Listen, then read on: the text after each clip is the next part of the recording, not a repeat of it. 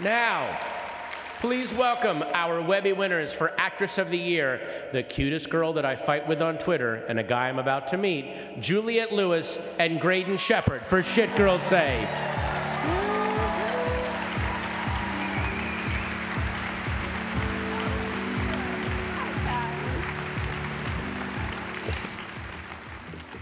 We, We just, just wanna thank